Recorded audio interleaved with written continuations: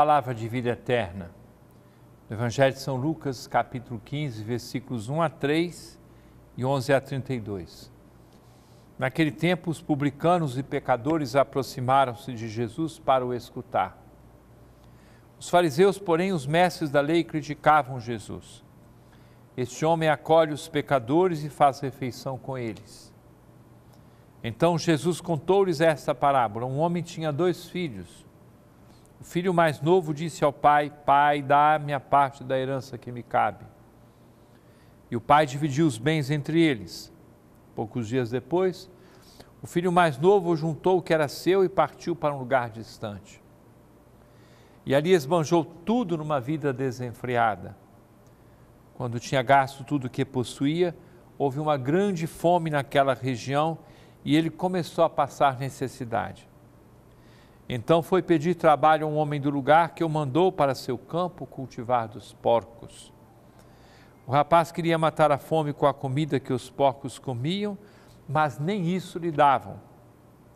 Então caiu em si e disse: Quantos empregados do meu pai têm pão com fartura e eu aqui morrendo de fome?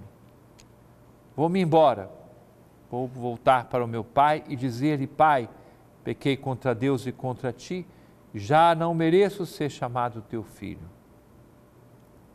Trata-me como a um dos teus empregados. Então ele partiu e voltou para o seu pai.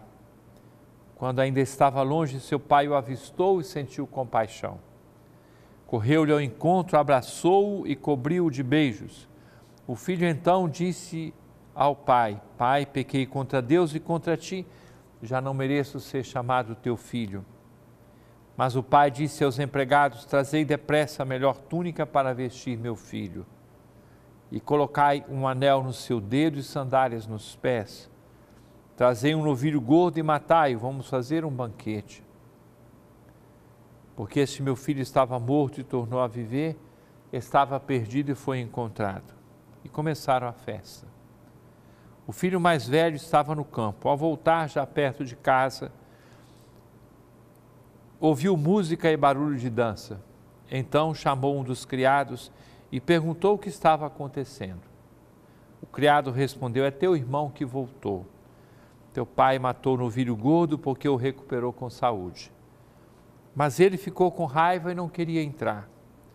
O pai, saindo, insistia com ele. Ele, porém, respondeu ao pai: Eu trabalho para ti há tantos anos, jamais desobedeci qualquer ordem tua e tu nunca me deste um cabrito para eu festejar com meus amigos. Quando chegou esse teu filho, que esbanjou teus bens com prostitutas, matas para ele o novilho cevado. Então o pai lhe disse: Filho, tu estás sempre comigo e tudo que é meu é teu. Mas era preciso festejar e alegrar-nos, porque este teu irmão estava morto e tornou a viver, estava perdido e foi encontrado. Diante desta pérola do Evangelho, que é a parábola do filho pródigo, ou do pai misericordioso, ou parábola do pai com os três filhos, como quisermos chamar.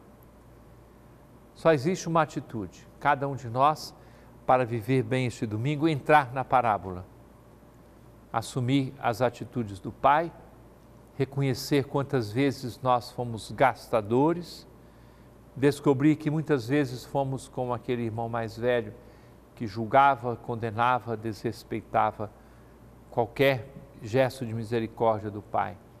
Entrando na parábola, nós entramos no coração de Deus para aprender com ela e sermos cristãos mais misericordiosos e também acolhedores da misericórdia de Deus. É palavra de vida eterna.